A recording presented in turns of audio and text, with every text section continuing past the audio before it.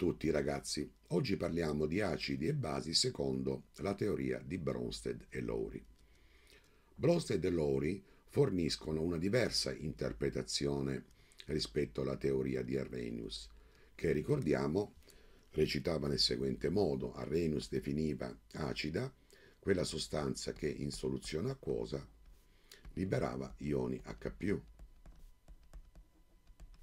mentre definiva basica o base quella sostanza che in soluzione acquosa liberava ioni OH-.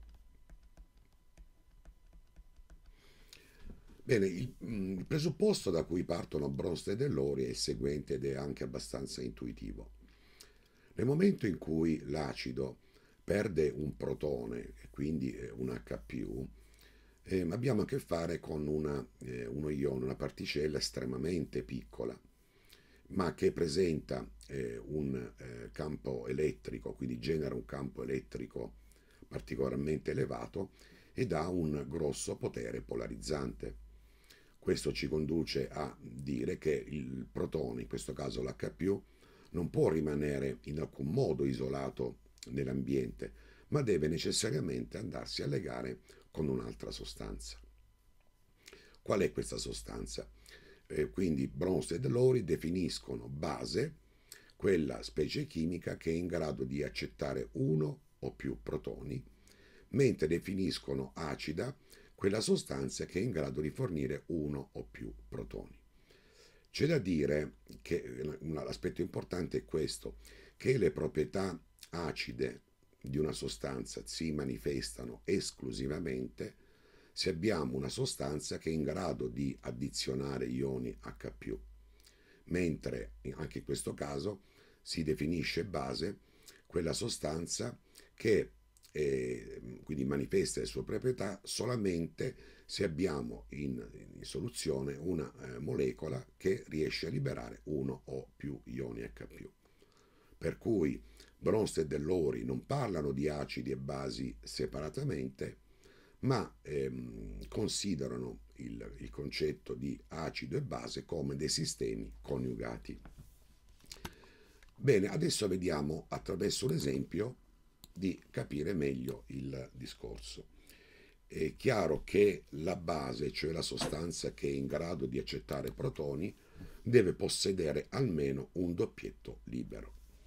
Quindi riandiamo a riprendere la, uh, l'acido cloridrico, anche se la maggior parte dei testi utilizza l'acido acetico come esempio.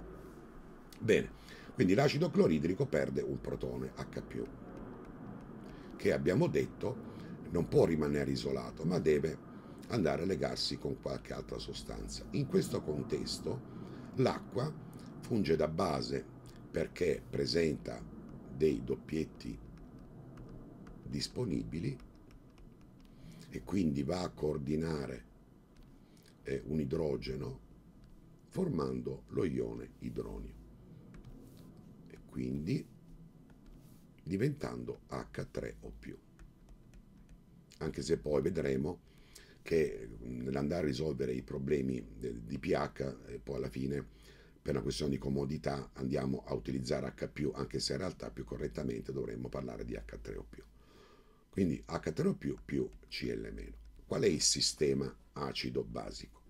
Il sistema è il seguente, quindi l'acido cloridrico è l'acido che riesce quindi a liberare, in questo caso, un protone. L'acqua funge da base perché è la sostanza che va a addizionare il protone L'H3O+, che cosa risulta? Eh, risulta essere, in questo caso, l'acido coniugato. Mentre il Cl- risulta essere la base coniugata. Ora vediamo di capire meglio il discorso che può lasciare un attimino perplessi. Quindi coniugata. Il sistema che si viene a creare è acido, base coniugata, base, acido coniugato. le coppie coniugate differiscono per uno o più protoni. Vediamo di capire che significa acido coniugato e base coniugata. Andiamo, e siccome trattasi di un equilibrio, andiamo a scrivere la reazione in senso inverso, e cioè andiamo a scrivere H3O più più Cl-. Ora, in questo caso, delle due sostanze, qual è quella che è in grado di fornire lo ione H+.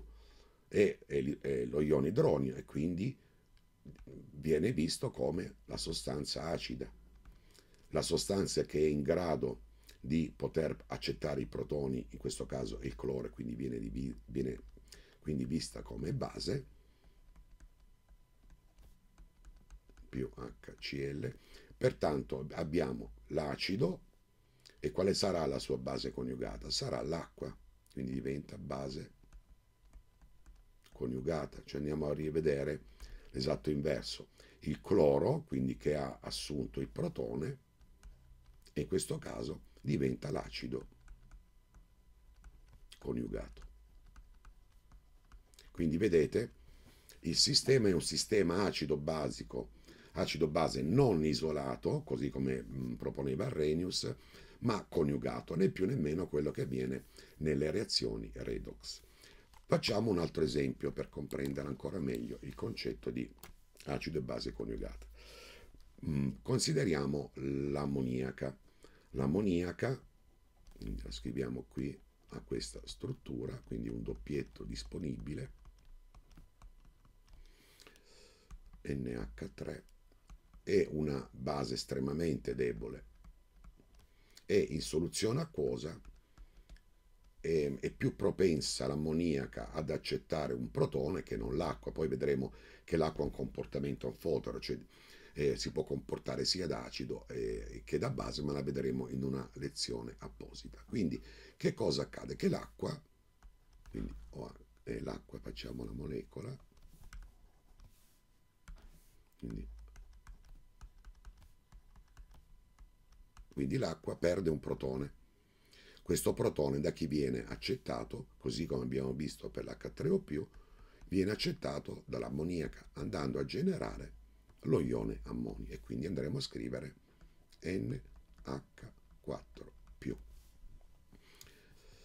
E in questo caso l'acqua, avendo per, perso un protone, diventerà più o H-. Allora, in questo caso come andiamo a definire il sistema?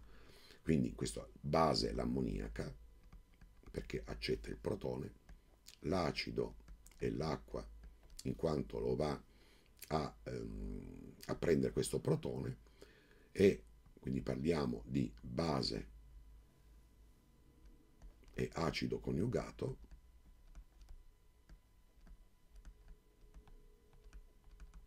perché coniugato? Perché abbiamo visto se no andiamo a ribaltare l'equilibrio l'unica, eh, lo ione ammonio è in grado di rifornire questo ione H+. E lo, lo ione eh, OH-, quindi lo, il gruppo ossidrile, diventerà la base coniugata. Quindi parliamo di un sistema acido e base. Bene, quindi questo, la, volevo sottolineare questo aspetto, anche se poi in realtà nelle, dicevo prima, nei calcoli del pH andremo a utilizzare indifferentemente H più e OH meno, anche se in realtà dovremmo scrivere più correttamente H3 o più. Eh, torno a sottolineare che le proprietà eh, acide eh, o basiche si manifestano soltanto se c'è una sostanza che può accettare o liberare ione H+.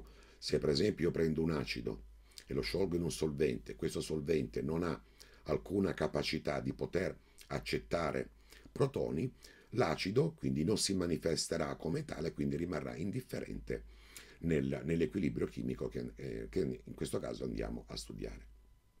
Bene, io ho terminato la lezione, la prossima volta eh, andremo a studiare la teoria di, eh, ehm, di, Lewis, che è quella poi un po' più completa, anche se dobbiamo dire che poi la teoria che noi utilizziamo ai nostri scopi è quella di Bronsted e Lori. Se vi è piaciuta la lezione iscrivetevi al mio canale schiacciate un like e un saluto alla prossima lezione.